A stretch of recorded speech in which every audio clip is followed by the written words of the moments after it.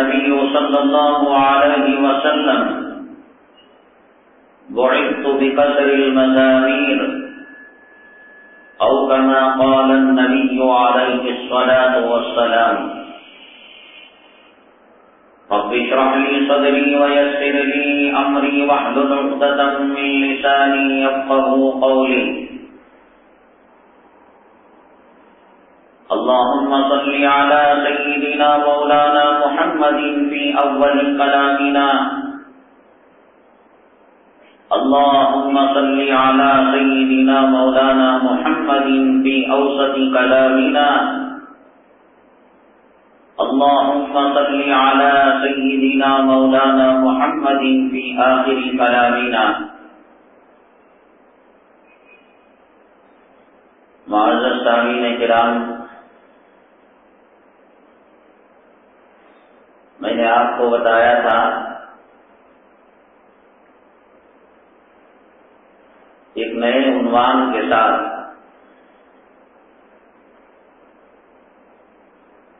अगली जुमा हाजिर खिदमत होंगे। और उन्वान मैंने आपको वाज किया था। इंसान कभी भी किसी वक्त भी मर सकता है। मौत के बारे में किसी को कुछ पता नहीं। अल्लाह ने अपने पास जो खसूसी ूम रखे हैं इंसान के इख्तियार के बारे उनमें से एक बात यह भी है कि अल्लाह ताला इंसान को मौत का पता नहीं देते। वो जवानी में, बुढ़ापे में, शादी से पहले शादी के बाद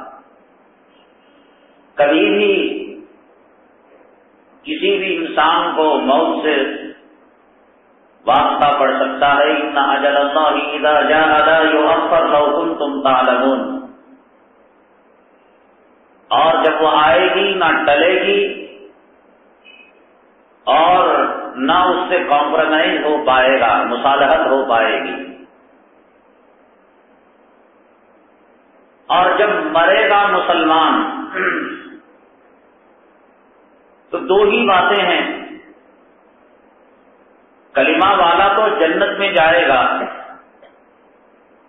या तो सीधे जन्नत में जाएगा, या अल्लाह के अजाब को भुगत कर अजाब कबर भुगत कर, पसलियाँ आपस में मिलकर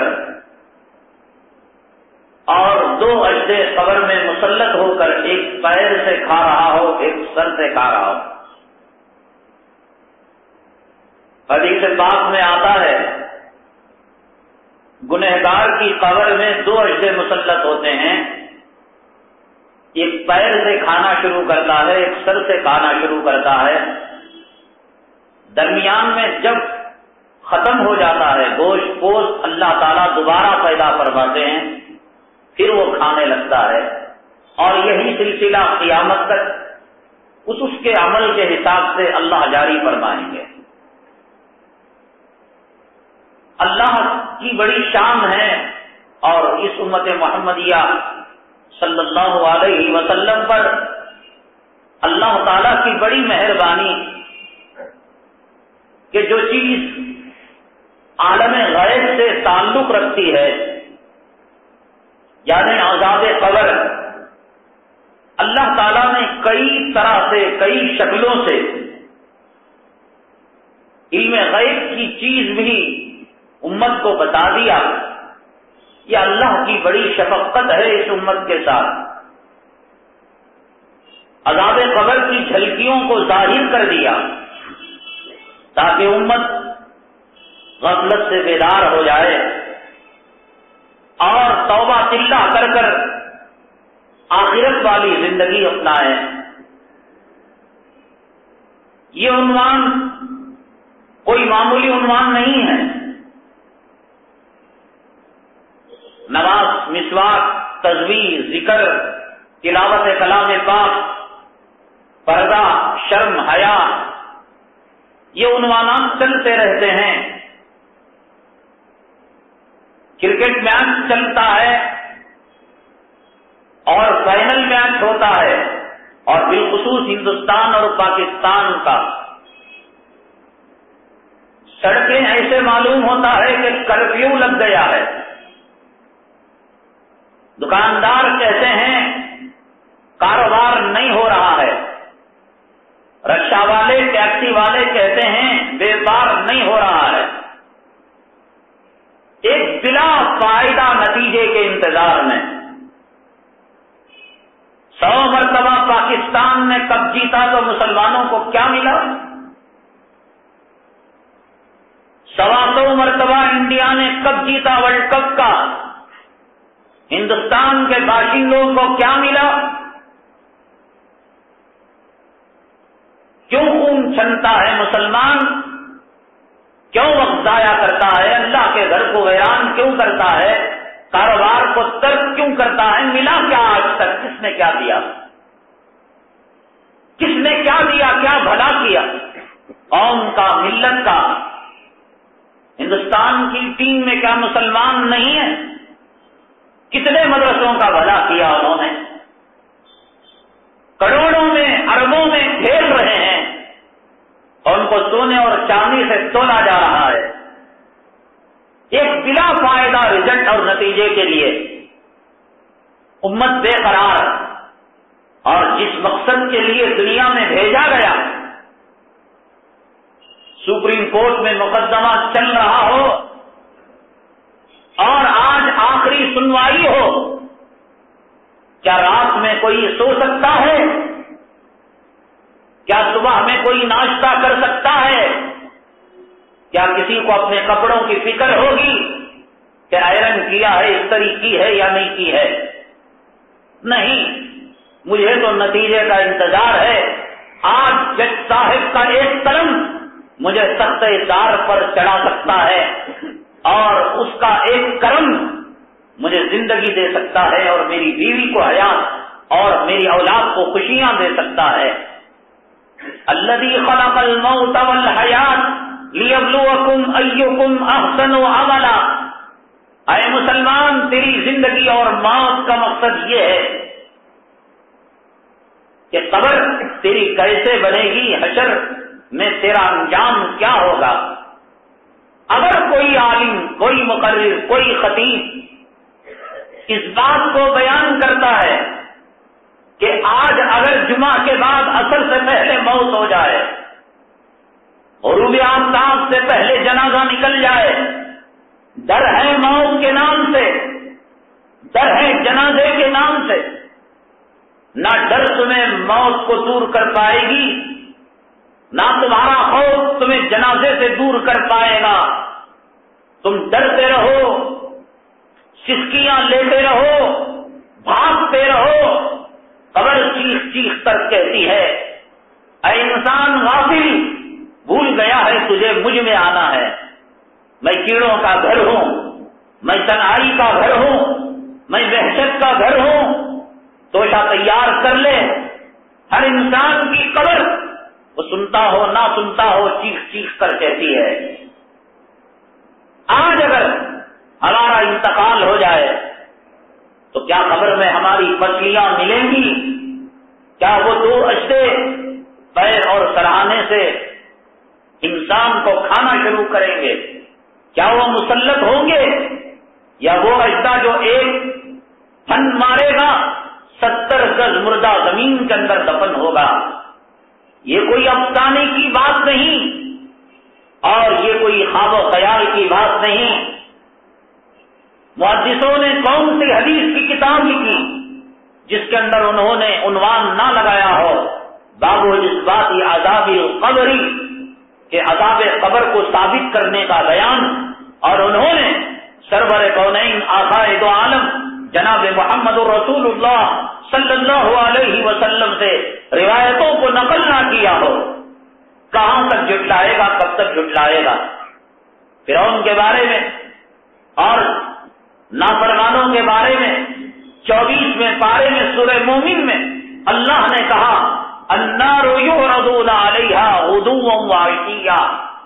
अल्लाह की जहन्नम की आग को कबर में सुबह और शाम पेश किया जाता है। तुझे नज़र ना आता हो, दुनिया की रेल पेल, दुनिया की चमक दमक, दौलत का खसारा मालूम होता हो, जूतों का फटना समझ में आता हो बीमारी समझ में आती हो और कबर समझ में ना आता हो, अल्लाह का आज़ाद समझ में ना आता हो, समझ न समझ, हर इंसान को इससे वास्ता पड़ना है, हर इंसान को जनाजे में सवार होना है। और इन्नल मौतल्लदी तफिरून मिन, फइन्नहु मुलाकीकुम तुम तुरसून इला आलिमिल गैबि वशहादा ऐ मोहम्मद सल्लल्लाहु अलैहि वसल्लम, आप कह दीजिए कि जिस मौत से लोग राह फरार इख्तियार कर रहे हैं, फइन्नहु मुलाकीकुम, वो मौत उनसे मिलने वाली है। इन्ना इलैना इयाबहुम तुम इन्ना अलैना हिसाबहुम। अल्लाह कहते हैं, हमारी तरफ़ लौट कर आना है और हम उनसे हिसाब और किताब का मामला करेंगे। हमने बताया था यह उन्मान बहुत सख्त उन्मान है, अहम तरीन उन्मान है। इसमें इंसान की ज़िंदगी के दूध का दूध और पानी का पानी हो जाएगा। लेकिन जिस तरीके से अहमियत आपको देनी चाहिए थी, आपने इस उन्वान को, लगता है कि अहमियत नहीं दी। आप भुला बैठे कि गुजिश्ता जुमा क्या बात हुई थी और किस उन्वान का वादा किया गया था। हमने कहा था, एक आदमी एक होटल में कोई चीज़ खाता है दूसरों को निशानदही करता है, फुला जगह, मसाल डोसा अच्छा मिलता है, बिरयानी अच्छी मिलती है। अगर आप अपने दोस्त को ये बता पा रहे कि आज अगर तेरी मौत हो जाए, अल्लाह नाम तेरे सीधे हाथ में देंगे या डाने हाथ में देंगे। सीधे हाथ में देंगे तो अंजाम क्या होगा? और डाने हाथ में देंगे तो अंजाम क्या होगा?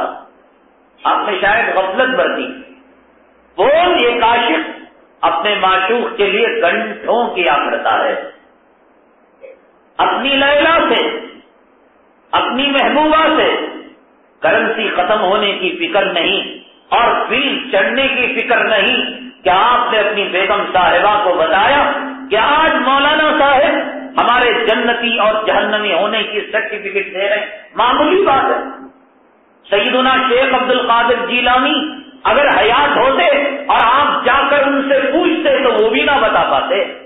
हज़रत जुनेद बगदादी रहमत हज़रत फरीदुद्दीन गन चकर रहमत क्या है ज़िंदगी का मकसद? क्या है? इमारतें बनवाना, दौलत को समेटना, अयाशी करना, काफिर चमार गाय और बैल का पेशाब पीने वाली कौम में हम में क्या फ़र्क है? क्यों ऐसी मुनाफकत की ज़िंदगी थू की ज़िंदगी गुजार रहे हो? क्यों इस्लाम को, मुसलमानों को रुस्वा कर रहे हो? पसंद नहीं जन्नत? जहन्नम के रास्ते पर चलो, नबी ने तुम्हें मजबूर नहीं किया। पसंद नहीं इस्लाम? बुद्ध परस्ती के रास्ते पर चलो, ये फिर माराना फसाद खत्म हो जाएगा। ये झगड़े खत्म हो जाएँगे। ये दहशतगर्दी का लेवल दाढ़ी वालों पर लगना, मदरसे वालों पर लगना, मसाजिद पर लगना, मुसलमानों पर लगना, नौजवानों पर लगना खत्म हो जाएगा। जाओ, बाल ठाकरे से कहो कि हम तुम्हारे साथ हैं। अडवाणी से कहो, हम तुम्हारे साथ हैं। वैदा नकुल्लदीन आमनो कालो आमन्ना वैदा खलो इला शयातीन कालो इन्ना माकुम, इन्नमा नहनु मुस्तहलिऊन बाल ठाकरे से कहो, इन्ना माकुम, हम तुम्हारे साथ हैं। अडवाणी से कहो, अडवाणी, हम तुम्हारे साथ हैं। तुम आरएसएस वालों से और विश्व हिंदू परिषद वालों से और भाज खुश हो जाएँगे वो। तुम्हें सीने से लगा लेंगे। कॉलेजों में तुम्हारे बच्चों के दाखिला मिलेगा। तुम्हें मेयारी तालीम मिलेगी। मकानात अलाट किए जाएँगे। लोन मिलेगा। धोखा देने से ना खुदा ही मिला, ना विशाले सनम। ना इधर के रहे, ना उधर के रहे। क्या मिलेगा मुनाफकत करने से? क्या मिलेगा धोखा देने से? अल्लाह तो तुम्हारे और मेरे धोखे में आने का नहीं है। अल्लाह और अल्लाह का नबी धोखे में नहीं आने का नहीं। वो जानता है हम किस गंदे और नापाक नुस्खे से पैदा होते हैं। अल्लाह यस्ता बीन वयमुद्दुहुम फ़ी तुगयानिहिम यामहून अल्लाह कहते हैं कि हम भी ढील छोड़ते हैं, हम भी ठंडा करते हैं। देखेंगे जुम्मा जुम्मा का मुसलमान कब तक बना रहेगा? ईद बरात का मुसलमान कब तक बना रहेगा? दाढ़ी बुढ़ाकर क्या साबित करना चाहते हो? यही ना, हमें नबी का चेहरा पसंद नहीं, सिद्दीक का चेहरा पसंद नहीं, फारूक का चेहरा पसंद नहीं। यही ना साबित करना चाहते हो? अडवाणी का चेहरा पसंद है, बुश का चेहरा पसंद है टोनी बिल्लेर का जब पसंद है, नाम बदल दो। नाम बदल दो। बुशफ नाम रख लो जोसफ नाम रख लो। किसने मजबूर किया अली नाम रखने पर, यूसुफ नाम रखने पर? जोसफ नाम रख लो, चल जाने को किसने मना किया? गुरुद्वारे को जाने से किसने मना किया? जाओ। कौन पैर पकड़ कर रोकता है? तुम्हारे न आने से ही अल्लाह का घर अंधेरा नहीं हो जाएगा। तुम नमाज़ न पढ़ने से सूरज निकलना बंद नहीं हो जाए। वो निकलता रहेगा, तुम रहो ना रहो। आसमान रहेगा, ज़मीन रहेगी, तुम्हारे बाप को देखा है, दादा को देखा है, और आसमान बराबर छत बनकर है, ज़मीन बराबर बिछोना बनकर है, सूरज बराबर शुरू हो रहा है, गुरूब हो रहा है। तेरे तेरे से उसमें कुछ फ़र्क पड़ने का नहीं। खुदा का निज़ाम चलता है, चल रहा है, चलता रहेगा। ज़रूरत है हमें अपने आखिरत बनाने की। क्या फ़िक्र है हमें आखिरत की कितनी फ़िक्र है आज़ाद कबर की? कहा जाता है, माँ के साथ जिना करने के बराबर सूद लेना देना। मुसलमान कहता है, किराए पर घर देने से झंझट, माटी केक पर घर देकर सूद का मामला कर कर माँ के साथ बलात्कार करेंगे। अगर ये इस्लाम पसंद है, मक्के और मदीने में नाजिल होने वाले कुरान को छोड़कर बुश के बनाए हुए कुरान को पढ़ने लगो। माँ की मौत पर क्यों अल्लाह की नाजिल करता किताब को पढ़ते हो? बुश के कुरान को पढ़ो। टोनी मिलेर की किताब को पढ़ो। अल्लाह का कुरान पसंद नहीं, नबी के अहकाम पसंद नहीं है। तो फिर उसने भी एक कुरान बनाया, उसने एक नबी बनाया, गुलाम मोहम्मद कादियानी। मुसलम कज्जाब नबी झूठे बने थे। अल्लाह के नबी पर ईमान लाकर अमल झूठे नबी पर कर दो। अल्लाह की किताब पर ईमान लाकर झूठे कुरान पर क्यों अमल करते हो? भाई सौदा जिस दुकान से लिया है, पैसा उसी को दो। दो सौ नंबर दुकान से सौदा लिया और तीन सौ नंबर दुकान में जाकर पैसा दे दो। ये दुनिया मानेगी? कैनरा बैंक से लोन लिया और इंडियन बैंक के अंदर पंजाब नेशनल बैंक में जाकर लोन चुका रहे। दुनिया ये हिमाचल पागल बना। दावा अल्लाह की किताब पर ईमान लाने का और अमल बुश के बनाए हुए कुरान पर। दावा मोहम्मद रसूलुल्लाह सल्लल्लाहु अलैहि वसल्लम पर ईमान का और आपकी सुन्नतों पर अमल का और अमल मुसैले में कज्जाब और गुलाम अहमद का कादियानी और अंग्रेज़ों के तौर तरीके पर। ये क्यों दोहरी चाल? ये कई सिंगरा मुनाफकत किसको धोखा देना चाहते हैं आप? किसको आप कंफ्यूजन में रखना चाहते हैं? अल्लाह को ये अदाएँ पसंद नहीं, इसीलिए अल्लाह ने कलाम बात में रिशाद फरमाया, इन्नल मुनाफिकीना फिद्दर असफली मिनन्नार कि जहन्नम में जहाँ यहूद ना जाएगा, जहाँ नसारा ना जाएगा, जहाँ ईसाई ना जाएगा, जहाँ काफिर ना जाएगा, जहाँ मुशरिक ना जाएगा, वहाँ दोगला मुसलमान जाएगा। जिसका ज़ाहिर कुछ और हो, बातिन कुछ और हो। कई जुमा से उन्मान नहीं चला, म्यूज़िक का, मौसीकी का। ये उन्वान अहम है, हम बताएँगे। इसको बाकी रखेंगे। आप मोबाइल से अपने घर में जब तक नहीं सुनाएँगे हाथों के अंदर वहाँ में रखकर अहमियत आने का मकसद क्या? या तो जन्नत या तो जहन्नम। अगर जहन्नम है तो मस्जिद आने की ज़रूरत नहीं। मंदिर में जाकर घंटा बजाओ। अगर जहन्नम है, इस ज़िंदगी का मकसद जाओ गुरुद्वारे को, जाओ प्रसाद खाओ, जाओ गणेश की पूजा करो। अगर है जन्नत तो फिर मानना पड़ेगा नबी के तरीके पर चलना पड़ेगा, अल्लाह के अहकाम पर अमल पैरा होना पड़ेगा। ये कोई मामूली उम्मान नहीं है। रात को मौत आ जाए और अगर कोई कहे कि हमें इसकी कोई परवाह नहीं है, ज़रूरत नहीं इस्लाम लाने की। अल्लाह के नबी सल्लल्लाहु अलैहि वसल्लम ने कई मामला के अंदर इशाद फरमाया, हज के बारे में फरमाया, कुर्बानी के बारे में, कई मामला की मिसाल लेकर आहा ने फरमाया, वो यहूदी मौत मरे ईसाई मौत मरे मुझे इसकी कोई परवाह नहीं। जिसे चावल जब पकता है, चावल के हर हर दाने को टेस्ट नहीं किया जाता। दो चार दाने देख लिए, पता चल गया, कच्चा है, पक्का है। अल्लाह के नबी सल्लल्लाहु अलैहि वसल्लम ने जनाब मोहम्मद रसूलुल्लाह सल्लल्लाहु अलैहि वसल्लम ने दो तीन मिसालों के अंदर हज की मिसाल देकर कुर्बानी की मिसाल देकर आपने फरमाया जो जिस पर वाजिब हो और जिस पर फ़र्ज़ हो और अगर ना करे, फरमाया कि वो जैसी यहूद नसारा की मौत पड़े, मुझे इसकी कोई परवाह नहीं। ये दो मिसालें दी इसका मतलब ये नहीं कि खालिद हज के बारे में ये बात है, कुर्बानी के बारे में ये बात है, दीन इस्लाम की हर अमल के बारे में। हर अमल अपने अंदर एक मकाम रखता है, एक दर्जा रखता है हैसियत रखता है। कितने मुसलमानों ने टीवी का जनाजा निकाला, मोबाइल से गानों को निकाला रिंगटोन म्यूज़िक निकाला मौसीकी को निकाला। कितने मुसलमानों ने इस कारोबार को छोड़ा? नहीं भाई, इसके बगैर हमारा कारोबार हो ही नहीं सकता। अल्लाह के हबीब पाक आकाए तो आलम जनाब मोहम्मद रसूलुल्लाह सल्लल्लाहु अलैहि वसल्लम तशरीफ़ फरमाते। एक साहेब आए, अमर बिन कर्रा जिनका नाम था, आकर कहने लगे अल्लाह के हबीब पाक सल्लल्लाहु अलैहि वसल्लम, अल्लाह ने मेरे लिए हराम रोजी ही रखी है। पाक, हलाल और सईद रिस्क अल्लाह ने मेरे मुकद्दर में नहीं रखा। अल्लाह के हबीब पाक आकाए दो आलम जनाब मोहम्मद रसूलुल्लाह सल्लम ने पूछा, क्या करते हो तुम? उसने कहा कि हम गाने बजाने का काम करते हैं और इससे पैसा आता है। और हमने सुना कि यह हराम है। अब मजबूरी यह है कि हम इसके बगैर जी नहीं सकते। दूसरा हुनर नहीं आता।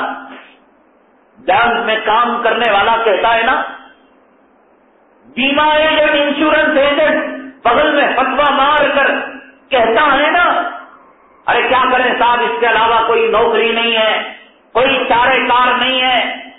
चिट फंड चलाने वाला कहता है ना कि इसके बगैर मेरी बीवी बच्चों, तू खुदा है। लिखते हैं एग्रीमेंट में, मैं फिर मेरी बीवी को खुदा नहीं पालता, मैं पालने वाला मैं फिर मेरी औलाद को रख कायनात जो समंदर की मखलूक, फिजा की मखलूक, आसमान की मखलूक, ज़मीन की मखलूक को पालने वाला है, वो सबको पाल सकता है। गली के कुत्तों को पाल सकता है, गली के सुवर को पाखाना देकर पाल सकता है। लेकिन मेरी बीवी और बच्चों को पालूँगा तो मैं। लिख के एक पत्थर कंधा कराकर मरमर पर लिखकर, जहाँ तो अपनी बीवी कलाम लिखकर शाहीन मंजिल पुला मंजिल पत्थर लगाता है, लिखते, मैं अपनी बीवी का खालिक हूँ, अपनी बीवी का पालनहार हूँ अगर बिन कर्रा ने कहा, मैं इसके अलावा और कोई ड्यूटी नहीं कर सकता, मजबूर हूँ। चौदह सौ साल पहले शर्म, हया पागदामी इफ्फत, किस्मत की हवाएँ चला करती थी। दाढ़ी मुड़ाने वाला कहता है, आज अगर मैं दाढ़ी मुड़ाऊं, नौकरी नहीं मिलती दाढ़ी वाले भी बाँध रहे दाढ़ी मुडाऊं तो मुझे लड़की नहीं मिलती। दाढ़ी वालों की शादी नहीं हुई। दाढ़ी वालों के बच्चे हलाल के नुस्खे से पैदा नहीं हुए। कहाँ गया ईमान? कहाँ गया अल्लाह की किताब पर भरोसा? अल्लाह की नबी की बातों पर एतमाद मुसलमान कहता है, चौदह सौ साल पहले क्या म्यूज़िक बजाता होगा अमर बिन पर्रा सेक्सी गाने चोली और लंगे के गाने होते होंगे? क्या गंदी फ़िल्मों के सीढ़ी मुसलमान नहीं बेच रहा है? क्या ट्रांसिस्टर और गंदे आलात मुसलमान कारोबार नहीं कर रहा है? उस जमाने में जब शर्म थी, हया हयाती कामदाबनी थी, और नबी की औरतें मुसलमानों की माए साहबा को हुक्म था वैदा साल तुम हुन्ना बस अलू मराई हिजाब। अरे साहबा, कायनात के अंदर हज़ारों इमाम को हनीफा आए कायनात में हज़ारों लाखों शिकली आए नोमानी आए, अख्ताब आए, अब्दाल आए, निजामुद्दीन औलिया आए, गौसे पाक आए। मेरे रब की जतो जलालत की कसम कायनात, अख्ताब अब्दाल से भर जाए। नबी के, सहाबी के कदमों का धूल का मुकाबला नहीं हो सकता। अल्लाह के नबी के जो सहाबा है, अल्लाह ने उनको चुन लिया, उनको मुंतखब कर लिया, आका की गुलामी के लिए आका की सोहबत के लिए हम कुरान उलमा से सुनते हैं, कारियों से सुनते हैं, सहाबा ने मोहम्मद वसल्लम से कुरान सुना है।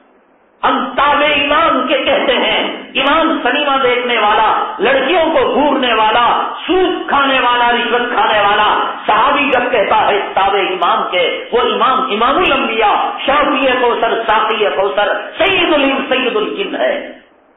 हम मजलिसों में बैठते हैं तो किसी शोला बयान मुकर्र के सामने बैठते हैं और सहाबा बैठते थे, नबी के सामने बैठते थे। जिसके लिए फरिश्ते जिसके कदमों के नीचे पर बिछाया करते थे। ऐसे पाकिजा सहाबा मुकदस सहाबा उनको हुक्म दिया गया वैदा साल तुम हुन्ना मतान फसलू हुन्न मिन मराई हिजाब। अरे सहाबा, एक तो सहाबी और दूसरा नबी की औरत और नबी की औरत, मुसलमानों की माँ, सहाबा की माँ, कहा गया, नबी की औरत जो तुम्हारी रूहानी माए हैं, अगर इनसे तुम कोई चीज़ मांगो या ये जाकर घर में पूछो कि नबी मौजूद है या नहीं है। बस अलो नबी मराई हिजाब। अरे सहाबी, नबी की बीवी जो तुम्हारे माँ के दाखिल है और किसी भी इंसान की मौत के बाद इज़्ज़त तक उसकी बीवी उसके निकाह में रहती है। मेरा इंतकाल हो जाए। चार महीने, दस दिन तक मेरी बीवी मेरे निकाह में रहेगी। और उससे दूसरे का निकाह नहीं हो सकता। उसको इज़्ज़त कहते हैं। इस्लाम ने एहतरामन औरत को कहा शौहर के मरने के बाद भी चार महीने दस तो औरत अपने शौहर के निकाह में, और जब उसके निकाह में है तो एक की निकाह शुदा बीवी, मनकूहा बीवी, उससे दूसरे का निकाह नहीं हो सकता। लिहाजा इज़्ज़त में इमाम हरम भी निकाह पढ़ा ले, मस्जिद नबी का इमाम निकाह पढ़ा ले, फरिश्ते जिब्राइल मिकाई आकर निकाह पढ़ा ले। पूरी दुनिया के उलमा कहेंगे, निकाह नहीं हो सकता। लेकिन नबी जब पर्दा फरमाए, कियामत तक उनकी बीवियों से उम्मत का निकाह हराम है। माए हैं वो माँ से निकाह नहीं हो सकता। और ऐसी माँ के बारे में वहीदा साल तुम मतान बस अलू हुन्न हिजाब। साहबा, अपनी माँ से तुम सवाल करो तो पर्दे के पीछे से सवाल करो।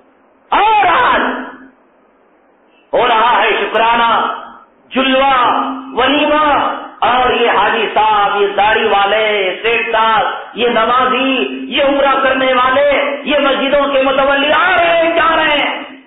है साहब, बरस का एक मौका, ज़िंदगी का एक मौका। और अल्लाह ने सहाबा को कहा कि अरे सहाबा, अगर तुम नबी के घर जाओ तो अपनी माओ से पर्दा करो। बस अलूहन मराई हिजाब। और यहाँ औरत को तंग रंडियों के, हरामजादियों के कपड़े पहना कर चले बाज़ार लाल, नहीं साहब, नीयत साफ़ होनी चाहिए। अल्लाह के हबीब पाक, आकाए दो आलम, जनाब मोहम्मद रसूलुल्लाह सल्लल्लाहु अलैहि वसल्लम ने एक रिवायत में फरमाया, तीन तबके हैं जो जहन्नम के अंदर जाएँगे। उसमें एक तबका वो औरतों का, जो मर्दों के साथ घुल मिल कर दुनिया कमाने में औरत लगी हुई है। नहीं जा रही है औरत आज। मार्केट नहीं जा रही है, बाज़ार नहीं जा रही है, सौदा सल्फ नहीं कर रही है। व्यापार नहीं कर रही है। कॉल सेंटर में मुलाजमत नहीं कर रही है। अल्लाह के नबी वसल्लम ने फरमाया, तीन तबके जो जहन्नम में जाने वाले, उन तीन तबकों के अंदर एक तबका उन औरतों का, जो मर्दों के शाना बशाना बाजारों के अंदर कारोबार किया करते हैं खरीदो फरोख्त किया करते हैं, मुलाजमत किया करते हैं एयर होस्टेस बने हुए हैं बास की सेक्रेटरी बने हुए हैं कंप्यूटर के काम में लगे हुए हैं। आका ने फरमाया के जहन्नम में जाने वाला तबका है। माओ से पर्दे का हुक्म। और आज कहते हैं कि साफ़ दिल साफ़ हो, नीयत साफ़ हो, कहीं कुछ नहीं होता। अब होने की ज़रूरत है। अब जो हो रहा है, न काफ़ी है। इज्जतें लुट रही हैं, कतल हो रहा है आबरू का जनाजा निकल रहा है। किस चीज़ का इंतज़ार है और क्या चीज़ बाकी है? क्या ईमान है हमारा?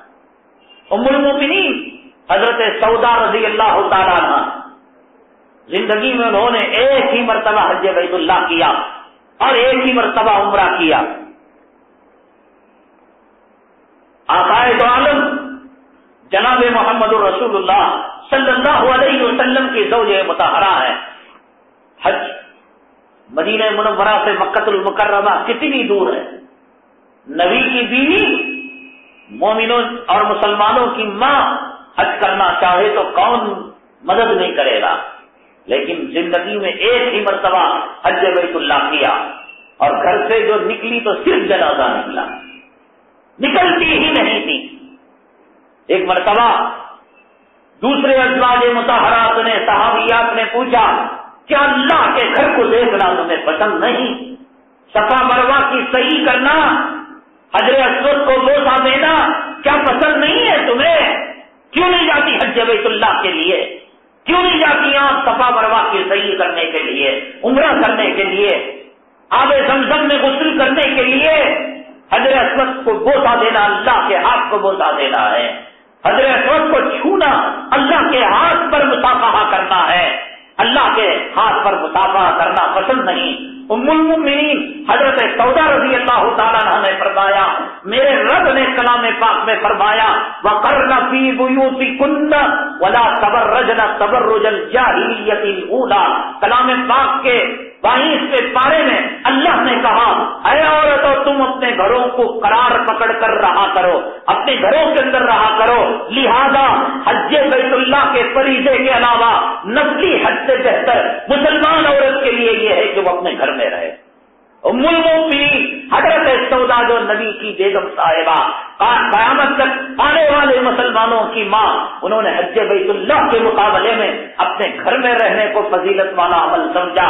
और आज शुक्राने के लिए निकलना, घर की ठंडी के उलमा ने कहा ने लिखा है, ये जो औरतें रिश्तेदारों के यहाँ, और अपने अजीजों अकारी के यहाँ, कॉलेज की सहेलियों के यहाँ, कॉलेज के बॉयफ्रेंड के यहाँ मिलने के लिए जाया करती हैं। हालाँकि आपने रिश्तेदारी के मसाइल के अंदर सुना कि कियामत दिन रहम और सिला रहमी अल्लाह के अर्ज़ से चिमट कर अल्लाह ताला को कहता है, ए अल्लाह, जिसने मुझे मिलाया, आज मैं तुझको उससे मिलाता हूँ। जिसने मुझे तोड़ा, ए अल्लाह, आज मैं उसको जन्नत से तोड़ता हूँ। रिश्तेदारियों का मिलाना और कते रहमी करना रिश्तेदारी का मिलाना, बाई से अजर और सवाब और कते रहमी करना, रिश्तेदारियों को तोड़ना, बहुत बड़ा गुना लेकिन फुकाहा ने कहा कि एक शादीशुदा बीवी के लिए ज़रूरी है। उम्र मिली हज़रत सौदा रज़ी अल्लाह तला की रिवायत को मद्देनजर रखकर कि उन्होंने नकली हज के मुकाबले में मदीने मुनवरा की सरजमीन से निकलकर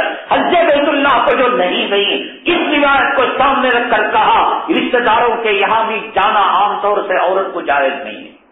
सिर्फ़ अपने माँ बाप के यहाँ महीने में एक आध मरतबा शौहर के साथ या इजाज़त के साथ, अपनी औलाद या महरम के साथ कुछ वक्त के लिए जाकर रात की तारीखी से पहले लौट जाना कहा ने किताबों में मसला लिखा है।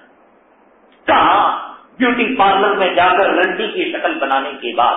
कहा चोरी खोल कर सीना खोल कर सीना दिखाने की बात शर्मगा उछालने की बात ध्यान की बात ब्यूटी कॉन्टेस्ट में आने की बात उम्मीन हज़रत सौदा फरमाती हैं, हज बैतुल्ला के लिए भी जाना, मुसलमान औरत के लिए जेवा नहीं है, नकली हज के लिए। उससे अफजल अमल यह है कि वो अपने घर को करार पकड़े। ये है शरीयत का मसला, ये है कुरान का मसला, ये है उम्मीन हज़रत सौदा रज़ी अल्लाह तला अब इसके मुकाबले में तुम अपनी दाल बगाड़ते रहो, अपना लक्कर झाड़ते रहो और अपनी बात कहते रहो। फैसला तो खबर में जाने के बाद होगा। फैसला मैदान महशर में जाने के बाद होगा। वहाँ तो हमारे बाप दादा की तो नहीं चलेगी, हमारी औलाद की नहीं चलेगी, हमारी खानदान की नहीं चलेगी। इन्ना इलेना या बहु तुम इन्ना अलैना हिसाब अल्लाह कहते हैं, लौट कर हमारे तरफ़ आना है। पुलिस वालों का अलग कब्रस्तान नहीं, चोरों का अलग कब्रस्तान नहीं दाढ़ी वालों का अलग कब्रस्तान नहीं दाढ़ी मुड़ों का अलग कब्रस्तान नहीं, और नमाजियों का अलग कब्रस्तान नहीं, बेनमाजियों का अलग कब्रस्तान नहीं, हलाल खोरों का अलग कब्रस्तान नहीं, हराम खोरों का अलग कब्रस्तान नहीं। अल्लाह ने कहा, लौट कर हमारी तरफ़ आना है। अगर पुलिस वालों का कब्रिस्तान अलग होता, कमिश्नर उनको जन्नत की सर्टिफिकेट दे देता मिलिट्री वालों का कब्रिस्तान अलग होता कमांडर उनको अलग जन्नत की सर्टिफिकेट दे देता, दाढ़ी मुड़ों का कब्रिस्तान अलग होता, दाढ़ी मुड़ों का सरदार और लीडर बुश और टोनी मिल्लर उनको अपनी जन्नत के अंदर भेज देता रंडियों का अलग कब्रिस्तान होता बेपर्दा जाने वालों का अलग कब्रिस्तान होता रंडिया जो आज कब्र उछाल रही है, आज एक एक अदा के लिए लाखों करोड़ों रुपए ले रही है। क्या हो गया? फिरत का नाम जुनू रख दिया और जुनू का नाम फिरत रख दिया। अल्लाह इकबाल रहमतुल्लाह ने फरमाया, आज दीवानगी को अकलमंदी कहा जा रहा है। आज अकलमंदी को दीवानगी कहा जा रहा है। आज जो पर्दे की बात कहता है, आज जो ईमानदारी की बात कहता है, आज जो सलामती की बात कहता है, आज जो इंसानियत की बात कहता है, आज जो पड़ोसी के हुकूक की बात कहता है। आज मर्दों और औरतों की हुकूक हुकूक की बात कहता है। आज जो औलाद के हुकूक की बात करता है। इस्लाम क्या है? हुकूक का तर्जुमा। एक अल्लाह के हुकूक, एक बंदों के हुकूक, इनको क्या नाम दिया जा रहा है? ये बुनियाद पर दहशत गर्द है। इस्लाम की तालीम क्या है? तुम एक आदमी काबिल मोमिन नहीं हो सकता, जो खुद नंडे तक काले और उसका पड़ोसी भूखा रहे। ये दहशत गर्दी की तालीम है। इस्लाम की तालीम है। कई रुकुम कई रुकुम लियाली वाना कई रुकुम लियाली तुमने का बेहतरीन आदमी वो, जो कि बीवी के साथ उससे सलूक करने वाला, क्यामत तक आने वाले शहरों में सबसे बेहतरीन शहर मैं जो कि बीवी के साथ उससे सलूक करने वाला। ये दहशतगर्दी की तालीम। और कहा जिसने एक इंसान को कत्ल किया, उसने गोया तमाम इंसानों को कत्ल कर दिया। ये दहशत गर्दी की तालीम। शराब को मिटाने की बात, बेहयाई को मिटाने की बात, कत्ल को मिटाने की बात, बेशर्मी को मिटाने की बात औरतों के सर पर दुपट्टा लाने की बात। अगर दुनिया वालों को कह दो, अगर तुम्हारी बात अमेरिका के कुत्तों तक जा सकती है टोरी बिल्लेर तक तुम्हारी रसाई है अडवाणी और ठाकरे तक तुम्हारी रसाई है भाजपा और फिरका परस्त तंजीमों तक, और हिंदुस्तान के इंटेलिजेंस और सीओडी के महकमे तक तुम्हारी रसाई है, कि औरतों को पर्दा देने का नाम दहशत गर्दी है, अमन और सलामती को कायम करने का नाम दहशत गर्दी है बेहयाई को मिटाने का नाम दहशत गर्दी है और सलामती का सबक देने का नाम दहशत गर्दी है। हिंदुस्तान के इंटेलिजेंस हिंदुस्तान की सीडी महकमे और भी है के महकमों को इतला दे दो कि हम दुनिया के सबसे बड़े दहशत गर्द है, जो खुदा की ज़मीन में खुदा के हुक्म को नाफिज करना चाहते हैं और और सलामती को आम करना चाहते हैं। कलमे कायम करने वाले, ज्ञान के मजमा कायम करने वाले नाइट क्लब कायम करने वाले, औरतों की आबरू को सरे बाज़ार लुटाने वाले, ये अमन पसंद। शराब की मूत की नदियाँ बहाकर माँ की आबरू को लुटाने वाले, शराब के नशे में मदहोश कर कर भाई के हाथों बहन की आबरू लुटाने वाले, तू अमन का सबक देने वाला शरीयत ने कहा इन नमल खबर वल मैसिर, वल अंसाब वल अजलाम रिसुमिन अवली शैतान। चौदह सौ साल पहले अल्लाह के कुरान ने कह दिया कि ये शैतान का मुल्क है, ये गंदगी है। हम कहें, शराब आराम दहशत गर्दी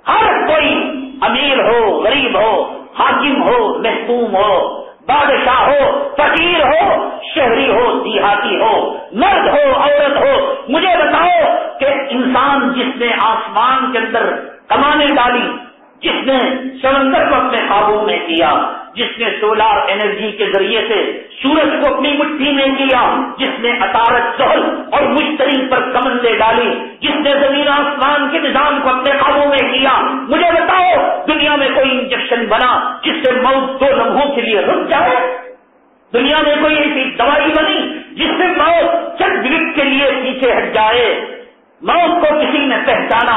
मौत से किसी ने मुकाबला किया। बड़े बड़े सैतान बड़े बड़े इंजीनियर बड़े बड़े डॉक्टर पर इंदल मौतल्लनी सफिरून अमिन फइन्नहु मुलाकीकुम। हर एक ने मौत के सामने सर तस्लीम कम कर दिया अमीर हो, गरीब हो, जवान हो, बच्चा हो, बूढ़ा हो शहिंशाह हो। क्या? जन्नत के बनाने वाले ने जब जन्नत को बनाया एक कदम जन्नत में और एक कदम बाहर जन्नत के बाहर, अल्लाह ने मलकुल मौत से कहा, मेरे इज़्ज़त और जलालत की कसम, इस जन्नत के बनाने वाले को जन्नत का दीदार नसीब ना हो। मलकुल मौत कहते हैं, कायनात से करोड़ों लोगों की रूहों को मैंने कब्ज किया, लेकिन दो अपराध की रूह को कब्ज करते हुए मुझे रहम आ गया तरस आ गया। एक वो छोटा बच्चा जिसकी माँ की रूह को कब्ज करते हुए मुझे तरस आ गया, जब जंगल के अंदर माँ ने बच्चे को जन्म दिया। कोई उसकी परवरिश करने वाला नहीं, कोई उसकी देखभाल करने वाला नहीं, कोई उसे दूध पिलाने वाला नहीं। रब कायनात ने कहा, मेरा हुक्म है इस माँ की रूह को कब्ज करो। मुझे रहम आ गया उस बच्चे पर कि इस बच्चे का कौन देख, कौन देखभाली करेगा। और दूसरे, उस इंसान पर जिसने जन्नत को बनाया और बनाने के बाद एक कदम जन्नत में और एक कदम बाहर तो कहा, काश एक मरतबा तो अपनी झूठी जन्नत को देख लिया होता।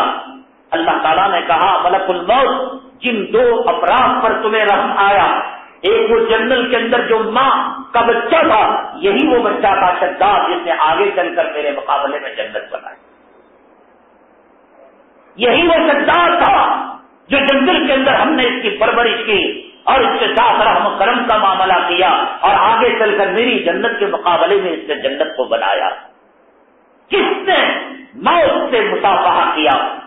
मौत से सुलह की? एक मिसाल बताओ, एक मिसाल बताओ। लेकिन मेरे भाई नौजवान, इस्लाम के लिए उठता है। इस्लाम के लिए मौत को सीने से लगाता है। एक वो मर्द मुजाहिद है, एक वो अल्लाह के रास्ते में। जान शहादत नोश करने वाला मर्द कलंदर है, जिसने मौत को शिकस्त दी और मौत को हरा दिया। इसलिए कि कपन पहनकर और मौत का मामा सर पर काम कर अल्लाह के रास्ते में एलाए कलीमतुल्लाह के लिए जाता है। जीत जाता है तो गाजी कहलाता है, मर जाता है तो शहीद कहलाता है।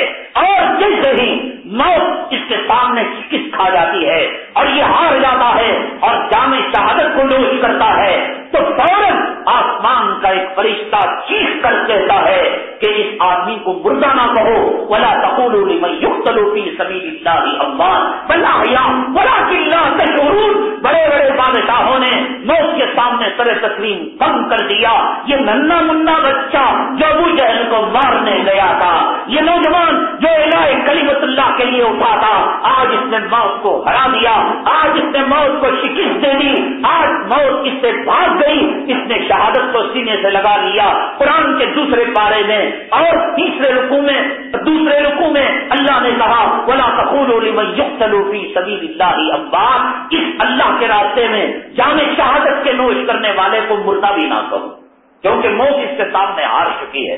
मौत चिकित्स खा चुकी है। बल्ला बात कहेंगे कि नहीं साहब, ये तो अकीदे की बात है कि हम अकीदे के एतबार से इनको ज़िंदा समझे, मर चुका है।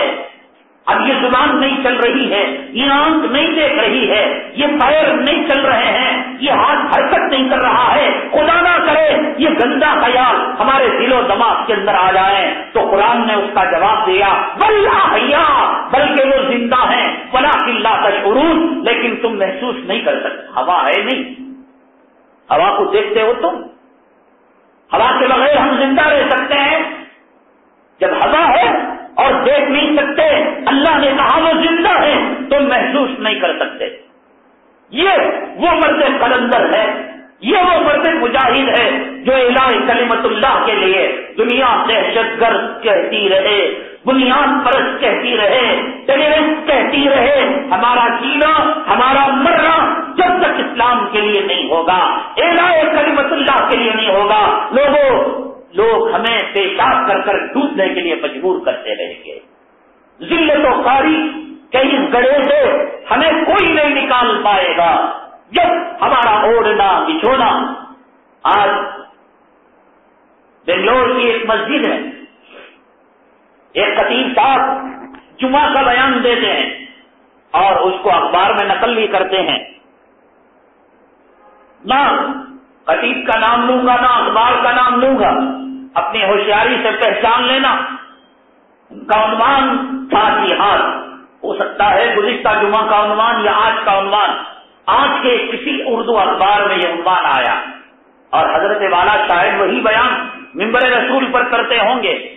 कि जिहाद इल्म का होता है, जिहाद कलम का होता है। जिहाद रिश्ते हलाल को तलब करने का नाम है। ये सब बुजदिली का सबक है अल्लाह की इज़्ज़त और जलालत की कसम। देखो, सलाह के माने दरूद के आते हैं सलाद के माने दुआ के आते हैं। कलाम पाक में अल्लाह ताला ने कहा अकीम सलाह मुसलमानों, सलाद को कायम करो। हदीस में कहा, मन अकाम सलाह जिसने नमाज़ को कायम किया, उसने दीन को कायम किया, और जिसने नमाज़ को छोड़ा, सलाद को छोड़ा, उसने दीन को छोड़ा। अगर कोई कहे कि, आओ भाई तुम नमाज़ के लिए हैया सलाह, आओ तुम सलाद के लिए। मेरी सलाद तो होगी। अरे नहीं साहब, डेढ़ बजे दौड़ है। सवा पाँच बजे असर है। बेवकूफ़ डिक्शनरी उठा करते सलाद के माने दुआ के हैं। मैंने अजान की बात की, दुआ कर ली, मेरी सलाद हो गई। सलाद के माने दरूद के हैं। सलात सलाम कहते ना असलात सलाम अली का या रसूल अल्लाह और अगर कोई सौ मरतबा दरूद पढ़ ले और पढ़ लेने के बाद कहे, मेरा दरूद हो गया, अब मुझे नमाज़ की कोई ज़रूरत नहीं। ये सब ठकाने की बातें हैं। सलाद का हकीकी माना नमाज़ है। अकीम सलाह ये जो पंचवक्ता नमाज़ नज़र आ रही है, फजर शहर असर, मगरब ईशा मक्के में, मदीने में, मशरक में, मगरब में शिमाल में, जुनूब में, देहात में, शहर में, मर्दों में, औरतों में, ये सलाद कायम करने का हुक्म दिया गया। जब सलाद बगैर नमाज़ के नहीं हो सकती, हज के माने इरादा करने के। हज के माने इरादा करने के एक मानदार साहब को कहा, हज़रत, अमीर हो गए शेख साहब हो गए, हज को नहीं नहीं, मैं इरादा कर लिया। हज हो गया उसका। सलाद ज़रूरत पड़ने से नहीं हो सकता। हज इरादा करने से नहीं हो सकता। जब तक कि वो हज के अरकान को अदा ना करे, हज की शराय को पूरा ना करे, सौम के माने रुक जाने के। एक आदमी कहे, खा रहा है, पी रहा है। भाई तुम रोजा हाँ अलहमदिल्ला रोजा हूँ। सौम के मारे रुकने से, मैं टीवी देखने से रुक गया। मैं ड्यूटी को जाने से रुक गया। सौम के माने हुए नहीं हुए, लेकिन इस सौम के माने को शरीयत कबूल करती है। इस सलाद के माने को शरीयत कबूल करती है। इस हज के माने को शरीयत कबूल करती है, जब तलाक के माने कबूल नहीं, जब सौम के माने रुकने के माने कबूल नहीं, जब हज के माने के इरादा करने के कबूल नहीं तो जिहाद इल्म का कैसे हो जाएगा? जिहाद कलम का कैसा हो जाएगा? जिहाद वो होगा जिसको नबी ने बदल के मैदान में दिखाया। जिहाद वो होगा जिसको नबी ने अहद के मैदान में दिखाया। जिहाद वो होगा जिसको नबी ने गजवे सबूत के अंदर दिखाया। जिहाद वो होगा जिसको नबी ने ज़िंदा ने मुबारक को शहीद करके बताया, जिहाद वो होगा जो इमाम हुसैन ने करबला के मैदान में दिखाया। जोरदार देते हैं। ये बंगड़ियाँ पहनाते हैं, चूड़ियाँ पहनाते हैं हिजड़ों के। और अंग्रेज़ों की चाल में आ गए हैं। जज्बे जिहाद जब तक ज़िंदा नहीं करोगे लेकिन मैंने बताया कि हिंदुस्तान के अहकाम अलग है। जहाँ जो चीज़ करनी है, वहाँ पर वो चीज़ करनी है। अजान से आवाज़ आई हयाल सलाह और एक आदमी बीच चौराहे के अंदर खड़ा हो गया नमाज़ पढ़ने के लिए। तो इमारत है। हिंदुस्तान के क्या हालात हैं? ये कौन सा मुल्क है? हमने इसकी तशरी की। दारुल अमन है, दारुल इस्लाम है, दारुल कुफर है। यहाँ के अहकाम क्या है? हिजरत है, या तबलीग है, या जिहाद है? तीन चीज़ें हैं मुसलमानों के लिए। या तो हिजरत, या तो जिहाद की सबीलिल्ला या तो तबलीग। क्या हिंदुस्तान के हालात में क्या करना है? लेकिन जज्बे जिहाद के बगैर मुसलमान ज़िंदगी नहीं गुजार सकता। मुसलमान जी नहीं सकता। अल्लाह के हबीब पाक आकाए दो आलम। जनाब मोहम्मद रसूलुल्लाह सल्लल्लाहु अलैहि वसल्लम ने इशार फरमाया, जिसने अपनी ज़िंदगी में जज्बे जिहाद का मज़ा ना चका हो, वो मुनाफकत की मौत पड़ेगा अल्लाह के नबी ने फरमाया कि अल्लाह के नबी को मालूम नहीं कि मुसलमान हिंदुस्तान में भी रह सकता है, मुसलमान पाकिस्तान में भी रह सकता है। अल्लाह के नबी ने यूँ ही कह दिया। वो मुनाफकत की मौत मरेगा। आज जल कर बुजदिली घरों में, औरतों की साड़ियों में कंबलों में रहकर ऐसी ज़िंदगी ना खुदा को पसंद, ना नबी को पसंद। पिटेंगे मुसलमान मुसलमान मार खाएँगे। एक अफसर कहता है, पकड़े हुए नौजवान दहशत गर्द नहीं। इतने में, एक हफ़्ते में दूसरी खबर ये आती है, कौन कहता है दहशत गर्द नहीं? ये दावनगिरे में, मोटर, साइकिल की चोरी में पकड़े गए मुसलमान सबसे सब दहशत। जो चाहते हैं, कह रहे हैं। जो चाहते हैं लेवल लगाते हैं। और अमेरिका के कुत्ते को कोई मार दे हिंदुस्तान की सड़कों में अगर जिहाद के अंदर आप गाड़ी चला रहे हो, लारी चला रहे हो और एक बकरी को आप कतल कर दें, आपकी लारी के नीचे बकरी आ जाए, मुर्गी आ जाए, उसकी कीमत लगती है। लगती नहीं लगती? या जिहाद वाले कहेंगे, लो साहब, तुमने मुर्गी को मार दिया अनजाने में, चलो दस मुर्गियाँ इनाम में देंगे। तुमने साल तो कुत्ते को मार दिया, कुत्तों की हिफाजत वाली तंजीमें मुर्गियों को बचाने वाली तंजीमें जानवरों के हकूक का तहफुज करने वाली तंजीमें एक नबी के गुलाम और नबी के मानने वाले का खून और नबी के मानने वाली औरत की आबरू इतनी सस्ती कि उसकी आबरू लुटे और कोई रोने वाला ना हो। उसके नौजवानों को गाजर और मूली की तरह कतले आम करे और उसके लिए कोई तंजीम नहीं, कोई आँख से आँसू के कतरे निकालने वाला नहीं। कुत्ता मरे। एक फौजी का पाँच कुत्ता, एक पुलिस का पाँच कुत्ता मरे। केस होता है उस पर, मुकदमा चलता है। मैंने आपको बताया ना अमेरिका की अदालत में एक अजीब गरीब मुकदमा के किसी ने किसी के कुत्ते को मार दिया अनजाने के अनजाने में तो फिर वो मुकदमा अदालत के अंदर चलता रहा। लोगों में बड़ी हलचल।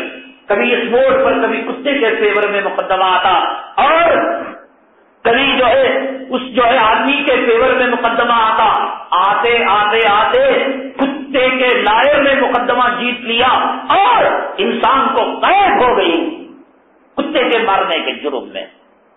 कितने मुसलमान तिहाड़ जेल में बेकसूर कैदोबंद की सौवतें झील रहे। और कितने मुसलमान आजरू की मालूम है आपको? सामने दस बीस औरतों को खड़ा कर दुनिया की कई ममालिक की, यहूद, नसारा की, ये कुत्तों की मिलिट्री उससे कहती है, इसमें किसी लड़की को तुम चुनना चाहो तो चुन लो, और उसकी आबरू को ये बारह बारह चौदह चौदह कुत्ते उसकी आबरू को लूटते एक कुतिया को सत्तर कुत्ते, सत्रह कुत्ते आबरू नहीं लूटते। एक सुवर्णी के पास अगर मेल एक सुवर जाता है, दूसरा सुवर हाथ नहीं लगाता।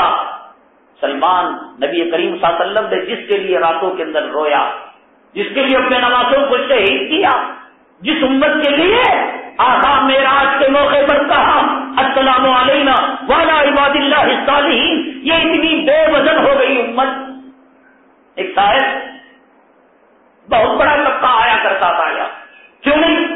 अरे यार, हर जुमा नहीं नहीं गालियाँ। दीन के निस्बत से कौन किसको गाली देता है यार? गालियाँ सुनना आज के जमाने के अंदर ये भी एक साधन ये यजमान नहीं छोड़ता अपने काम वाले को। गाड़ी का ऑनर अपने ड्राइवर को माफ़ नहीं करता हेडमास्टर अपने टीचरों को माफ़ नहीं करता ऑनर अपने किराएदार को माफ़ नहीं करता। दुनिया की निस्बत से गालियाँ सुनने वालों, दीन की निस्बत से गालियाँ सुनोगे तो आखिरत बनेगी। चले? माँ जमात की बात होती है, छिल्ले छट्टी की बात होती है, मामला खराब, कोई बात नहीं कर्ज लेकर डुबा लिया, कोई बात नहीं एक साहेब, क्या कहें हम? अल्लाह के रास्ते में निकलने का दावा करने वाले जी में आता है तलाश दे देते हैं और जी में आता है, बीवी बनाकर हराम के बच्चे पैदा कर। ऐसी बातें कौन बयान करता है? मीठी मीठी बातें, बहकाने वाली भाइयों, बुज़ुर्गों, दोस्तों, तुम सब जन्नती हो, नबी के उम्मती हो और नबी की उम्मत का वो मकाम है, इस उम्मत में आने के लिए सहाबा, इस उम्मत में आने के लिए पिछले अम्बिया तड़पा करते थे। हज़रत खुश, दाढ़ी मुड़ाने वाला खुश सूद खाने वाला खुश। उसकी अम्मा को कौन गिनता है? दाढ़ी मुड़ाने वाले कौन गालियाँ? गालियाँ देकर हमें कोई संभा मिलता? हम क्यों कहते हैं आखिर? इसलिए उलमा ने लिखा है, अगर जिहाद हो जाए काफिरों से मुठभेड़ हो जाए, दाढ़ी मुड़ाने वाले को मुसलमान मार दे तो उलमा ने लिखा है कि उस पर तावान नहीं आएगा, इसलिए कि दाढ़ी मुड़ाकर उसने काफिर की शक्ल को बना लिया था। है ना? कतल का बदला कतल है शरीयत में। आम, एक थोड़ी तो आम का बदला आम फोड़ना। सौ रुपए ले लिए, सौ रुपए बदले में लेना। खिताब में कतल, जान के बदले जान, माल के बदले माल। लेकिन अगर कोई दाढ़ी मुड़ा, जिहाद के मैदान में मुसलमान के हाथों मरा जाए तो खादी कहेगा, तुझे कत्ल के बदले कत्ल नहीं किया जाएगा। इसलिए कि काफिरों की शक्ल उसने बना रखी थी, और तूने काफिर समझकर उसको मार दिया था। खुदा ना करे, अगर पहचानता भी था तो काजी ये फैसला देगा कि चूँकि वो काफिरों के हुलिये में था, खिताब के तौर पर तुझे कत्ल नहीं किया जाएगा। अब ये बातें कौन बयान करता है? भाइयों, बुजुर्गो, दोस्तों, तुम मुसलमान हो, क्यामत में नबी तुम्हें हौदे कौसर का पानी पिलाएँगे, तुम्हारी बेटी मर गई, उंगलियाँ पकड़कर बेटी जन्नत सब ढकलने की बातें, सुलाने की बातें, हराम का, हराम की रोजी पेट में रखकर आदमी जन्नत में जा सकता है, हराम का लुकमा पेट में रखकर हमारी दुआएँ कबूल हो सकती है। मुनाफत और दोहरी चाल की ज़िंदगी गुजार कर क्या खुदा रसूल को धोखा हम दे सकते हैं? अब ये सब बातें होती हैं। मामला खराब करने वाला, कर्जे लेकर डुबाने वाला, औरतों पर जुल्म सितम करने वाला, लड़कियों को अंग्रेज़ की औलाद बनाने वाला, कॉलेजों और कॉल सेंटर का माहौल देने वाला, सुनते सुनते सुनते सुनते, काम फंस गए। क्या और आलिमा नहीं क्या भाई? उन्होंने तो दीन के बातें बयान करती, उन्होंने भी कुरान हदीस के बातें बयान करते। कहाँ तक भागेगा? कहाँ तक दौड़ेगा? कुरान से भाग कर भागेगा? मस्जिद से भागेगा? मौत के बाद जनाजा कहाँ आना है? मौत के बाद किस कब्रस्तान के अंदर दफन होना है? कहाँ तक भागेगा? आज ये बातें कड़वी लग रही है। आज ये बातें भगाने वाली लग रही है। चलो साथ छिल्ले की बातें, जमात की बातें, तश्कील की बातें हो रही हैं। देखो जमात में जाने वाले के पैर में जंजीरें डालो, तोड़कर भागेगा। लेकिन ये कि रोजी को हलाल कौन करेगा? मामला को साफ़ कौन करेगा? बंदों के हुकूक कौन अदा करेगा? आज पुलिस मिलिट्री की तरफ़ से, आज हुकूमत की तरफ़ से, आज काफिरों की तरफ़ से जो जुल्म और तशद हो रहा है, उसका इलाज क्या है? तीन दिन जाने से मसला हल होगा चिल्ला लगाने से मसला हल होगा। वो होते रहेंगे। दारूम सनद देता रहेगा। नदवा सनद देता रहेगा। दारूम की सनद मसला नहीं नदवा की सनद मसला नहीं, सहारनपुर के मजाहिर की सनद मसला नहीं। जमातों में साल लगाना और दारुलिफ्ता की फतवा मुफ्ती की सनद लेना, ये मसले का हल नहीं। मसले का हल ये है कि जुर्म और तशद का मुकाबला आज के हालात में कैसे किया जाए। अपने इख्तलाफात अपने मसल की नजरियात के तसादुम को बाला साफ़ रखकर कली में तयबा की नस्बत से मुसलमान मुतहिद होकर, कैसे कुबरानी ताकतों का और कैसे फिरौनी ताकतों का और कैसे सरकशी ताकतों का वो मुकाबला करे, आज इसकी ज़रूरत है। आज करामत मोजिजे सुनाकर कौम को सुलाने, कौम सोई हुई है, आखिर के छीटे डालने से नहीं उठ रही है? ऐसी कौम को मजीद सुलाने की ज़रूरत नहीं है। कौम को जगाने की कौम को बेदार करने की कौम को अल्लाह की तरफ़ ले आने की कौम को मक्के से निकले हुए तरीकों को अपनाने की, मदीने से निकले हुए सुन्नतों को अपनाने की कौन ये कहे, अमेरिका तो जितना अपना चेहरे को बना ले, संवार ले, फ़ैशन का नाम दे ले, ब्यूटी कॉन्टेक्ट का नाम दे ले, और खूबसूरती और हुजूर के मुकाबले का नाम दे ले अमेरिका, सत्तर तेरे फ़ैशन पर मुफ़्त हैं। अम्मा आयशा फतेजा का, का दिया हुआ निकाब हमें पसंद है।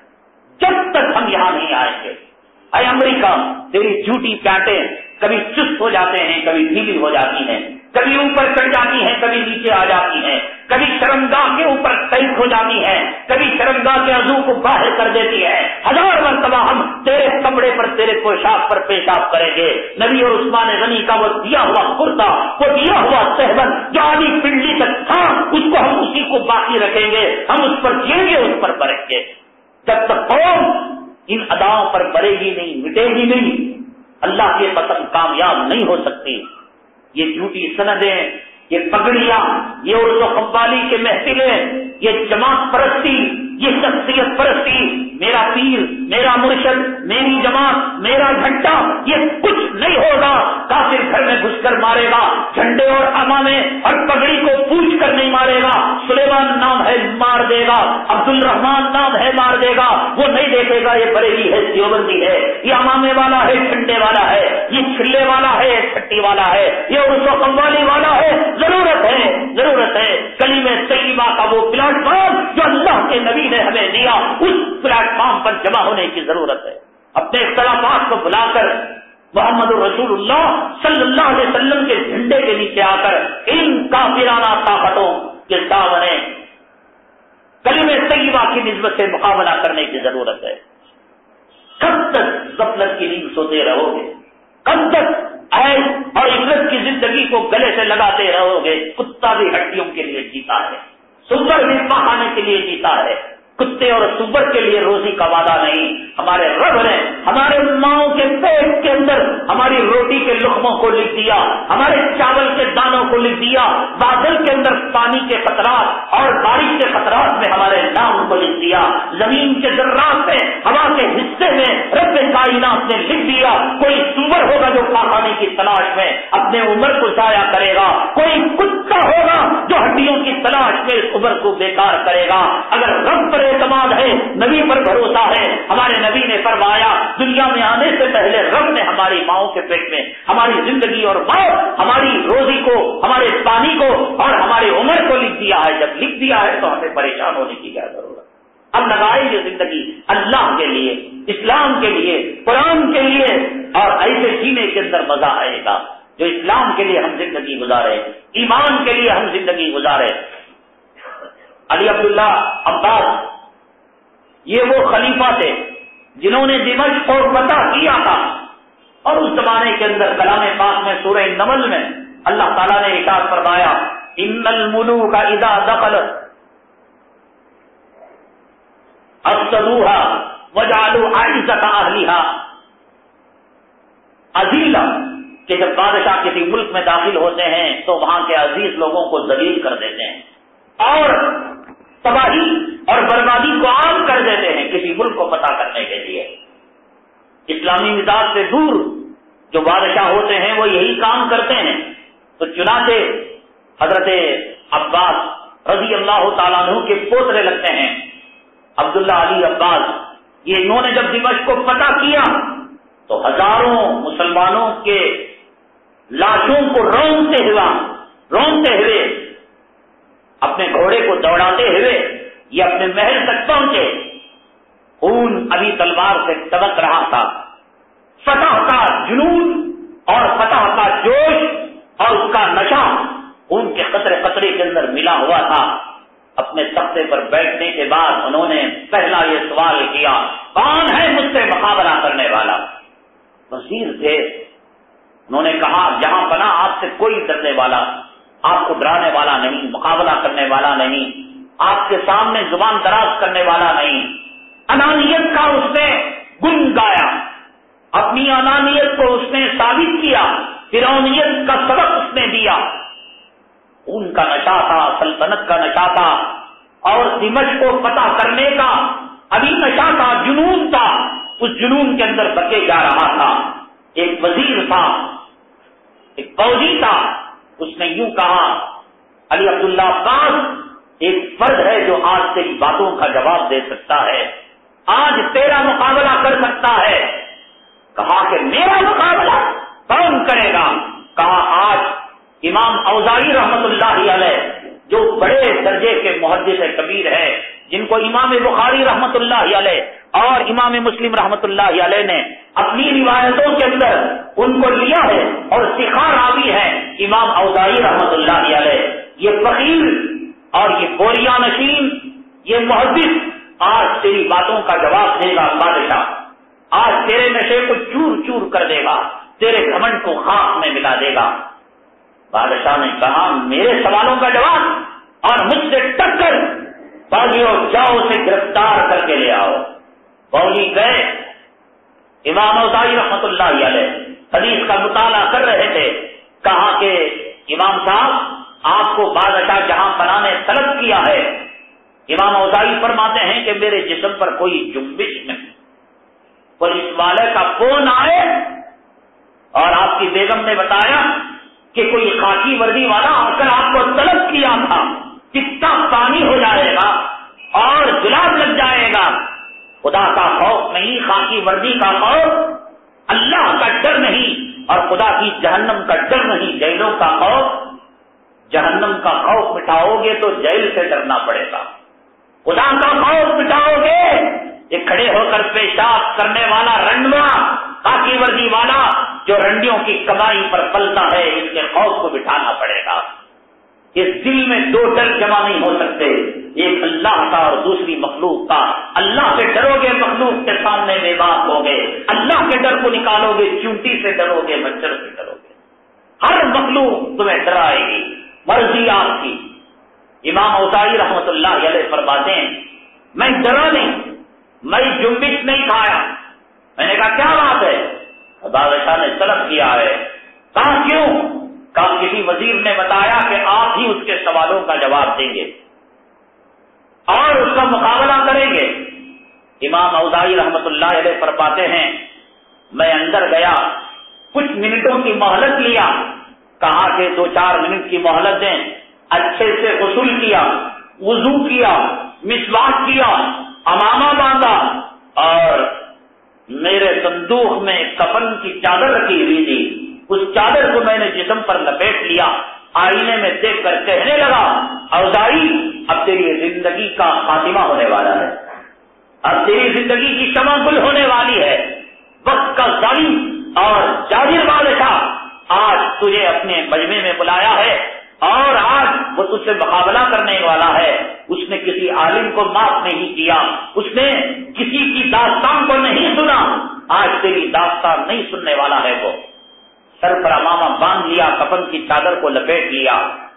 अब उसको एक मुल, इमाम उदारी रहमत को एक मुलजिम की तरह, मुजरिम की तरह खींच कर ले जाने लगे फौजी। दरबार आया, इमाम औजारी रहमत फरमाते हैं, दोनों तरफ़ मयानों से निकली हुई नंगी तलवारें। तलवारों के सायों से मैं गुजर रहा था। हर एक तलवार के बाद मेरे दिल में ख्याल आता, शायद अगली तलवार मेरा सर कलम कर देगी। मेरे सर को तन से जुदा कर देगी। वो खौफ का माहौल, वो हैबत का माहौल, वो बादशाह का दबदबा और वो फौज का रोल और वो तलवारों की खनक और चमक और चमक लेकिन मेरे जिसम पर कोई रोग ना आया और इमाम उदाई रहमत फरमाते हैं, मेरे रब की इज़्ज़त और जलालत की कसम, इतनी सारी कुत और इतनी सारी ताकत हैबत मलकूतियत को देखने के बावजूद इमाम उदाई फरमाते हैं, अली अब्दुल्ला अब्बास, मुझे मक्खी की तरह नज़र आ रहा था। मेरे दिल में कोई खौफ नहीं था। दो डर में से एक डर, या तो अल्लाह का डर, या तो बंदों का डर। या तो जहन्नम का डर, या तो तिहाड़ जेल का डर, या खुदा की लाठी का डर, या मिलिट्री और पुलिस वालों की लाठी चार्ज का डर। दो डर एक दिल में जमा नहीं होते। इमाम ओजाई फरमाते हैं कि मुझे ये मक्खी की तरह नज़र आ रहा था। तो चुनाचे मैं गया।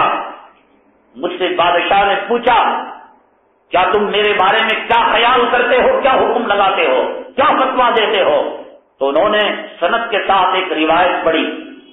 और वो रिवायत ये थी, अल्लाह के हबीब पाक आकाए दो आलम, जनाब मोहम्मद रसूलुल्लाह सल्लल्लाहु अलैहि वसल्लम ने विचार फरमाया, किसी मुसलमान को कत्ल किया जाता है तीन वजह से। एक वजह ये कि वो शादीशुदा जिना करने वाला हो। अगर कोई शादीशुदा जिना करे, रजम कर कर कत्ल कर दिया जाएगा। या नहीं, मुर्तद होने वाला हो, यानी मुसलमान होकर उसने दीन इस्लाम से रुख को अपना लिया फेर लिया, उसको कत्ल कर दिया जाएगा। अलमुफारी को बिल जमा मुसलमानों की जमात से हटकर, मुसलमानों की जमात के अंदर सफरिका डालने वाला, फूट डालने वाला। एक, शादीशुदा जिना करने वाला। और दूसरा, जिसने किसी मुसलमान को कत्ल किया हो।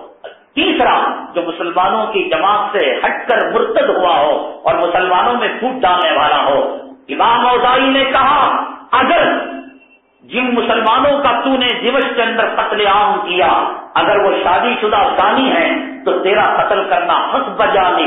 अगर उन्होंने किसी को कत्ल किया और बदले में कत्ल के बदले कत्ल तूने कत्ल किया तो तेरा कत्ल करना हक बजानी। अगर वो मुर्तद हो गए इस्लाम से, और मुर्तद होने की सजा में तू कलीफतुल मुस्लिमीन होने की वजह से कत्ल किया तो तेरा कत्ल करना हक बजानी। शादीशुदा दानी भी नहीं, और उन्होंने किसी को कत्ल भी नहीं किया, वो मुर्तद भी नहीं हुए, और तूने अपने दामन को उनके खून से सुख आलूद कर लिया और अपने दामन को लाल कर लिया। देख, खुदा तुझे माफ़ नहीं करेगा। ये नंगी तलवारें थी। ये बादशाह था जिसने दिमश के पता के जुनून में, नशे में ये कलिमात कहे जा रहा था। उसके सामने इमाम औजाई रहमत ने हदीस पढ़कर मुँह पर थूका वफल जिहाद मन काल कलिमत हकिन इंदा सुल्तान ज़ाहिर हदीस पाक में आता है बेहतरीन जिहाद एक मौके पर वो होता है कि जालिम बादशाह के सामने हक बात कही जाए। जब ये बात इमाम औजाई रहमत ने कही, खुद इमाम औजाई फरमाते हैं कि जब मैंने ये बात कही तो नयान से तलवार बादशाह की निकल चुकी थी। मैं अपने अमामे को सर से निकाल चुका था ताकि अमामे की तोहीन न हो। जब मेरे गर्दन पर तलवार लगेगी, ये खून उड़कर नबी करीम वसल्लम की सुन्नत पर ही मेरा जिसम का नापा खून न लगे। जो आसपास दरबारी थे फौजी थे, वो अपने दामन को समेटने लगे कि कहीं खून के छीटे उनके दामन पर न लग जाएँ। तलवार नयान से निकल चुकी, दामन समेटा जा चुका, अमामा सर से उतर चुका। जीत हक की होती है या बातिल की होती है? जज्बा इतिहास कितना मुसलमानों को कामयाब और सुरखरू करता है? मैं इंशाला इमाम औजाई का अंजाम अगली जुमा बताऊँगा। मैं इस उन्वान को इसलिए मौकर कर दिया कि ये उन्वान के हम जन्नती या जहन्नमी, ये कोई मामूली उन्वान नहीं है। ये बहुत कीमती उन्वान है। हमारे दुनिया में आने का मकसद अल्लाह की रजा को हासिल करना जन्नत को पाना अदाब कबर से बचना अदाब महशर से बचना, अर्श का साया मिलना, गोया, अगर हमें जन्नत की सनत मिल रही है, हौज कौसर का पानी मिल रहा है, अर्श का साया मिल रहा है, सीधे हाथ में नाम अमाल मिल रहा है, और अगर खुदा ना करे हम बड़े जहन्नम में जाएँ तो हमारा अंजाम कबर के अंदर वही होगा, जो काफिरों के साथ होगा, और महशर में रुसवाई होगी अर्ज़ का साया नहीं मिलेगा कुल किरास पर कट कर गिरेंगे, जहन्नम का लहू पियेंगे, पीप पियेंगे उन्मान अपनी जगह पर बड़ी अहमियत रखता है। अगर मौका मिलेगा इस उन्वान को अपनी जुमा ले जाएँगे, वरना किसी मौके पर इस उन्वान को लेकर ही आएँगे। और इमाम औजाई का अंजाम क्या होता है, हम उसको बताएँगे। अल्लाह ताला से दुआ है, अल्लाह ताला हमारी बुजदिली को खत्म फरमाए। अल्लाह हमारे सपू के अंदर इतिहाद इतफाक पैदा फरमाए। अल्लाह कलीम तयबा की नस्बत से जुड़कर कुफर और इस्लाम दुश्मन ताकतों का मुकाबला करने की तोफीक नसीब फरमाए आमीन बाबदान अलहमदिल्ला रबीला आलमी